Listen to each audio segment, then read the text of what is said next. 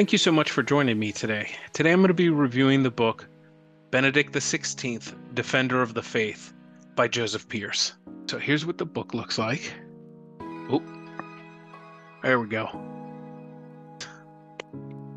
It's a hardcover, which I always prefer in my library. So this book would qualify as like a short biography. It's only 167 pages. So as you might imagine, this book is about Pope Benedict XVI or Joseph Ratzinger. Now, Joseph Ratzinger was born April 16th, 1927, and his victory was complete December 31st, 2022. He was a theologian, a biblical scholar. He became a cardinal, was a was the prefect for the doctrine of the faith, and ultimately became pope. Now, me personally, I think he's going to be remembered as one of the greatest theologians of the past hundred years. That's just personal opinion. However, I have heard many theologians and biblical scholars parrot that same thing, or I, I, should actually say, I am parroting what they are saying. I also pray that he uh, is made a doctor of the church one day. I feel a special bond to Joseph Ratzinger because my family is of German descent and he was our German pope. Okay, so an overview of this book.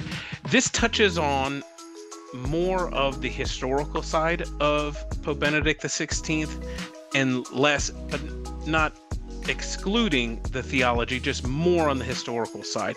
So some of the chapters range from what his childhood was like in Nazi occupied Germany, his relationship with his brother, whom I'm not sure if you're familiar, was also a priest, getting to assist in the Second Vatican Council, his thoughts on the liturgy, the spirit of the Second Vatican Council, and uh, various excerpts from some of his encyclicals.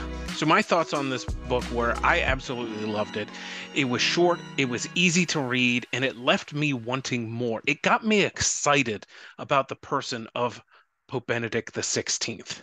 I also liked it because it was cool seeing more of the personal side of Pope Benedict XVI versus just strictly his theology. It was interesting to read what he originally wanted out of the priesthood, like w- where he thought his career path was in the priesthood versus what actually happened. I liked his take on modern problems and how applicable they are even to this day now. Who doesn't love a book with sweet pictures, right? But like here's here's some of them. Look at that. Look at the strength in that picture. That's what I'm talking about. I wanted to read one of the citations from this book that is just a real gem. Quote Today, having a clear faith based on the creed of the church is often labeled as fundamentalism, whereas relativism, that is, letting oneself be tossed here and there, carried about by every wind of doctrine, seems the only attitude that can cope with modern times. We are building a dictatorship of relativism that does not recognize anything as definitive and whose ultimate goal consists solely of one's own eager, excuse me, ego and desires. That's awesome. So if you're interested in getting to know the personal side of Pope Benedict XVI, I would definitely recommend this book. If you're German, I would recommend this book.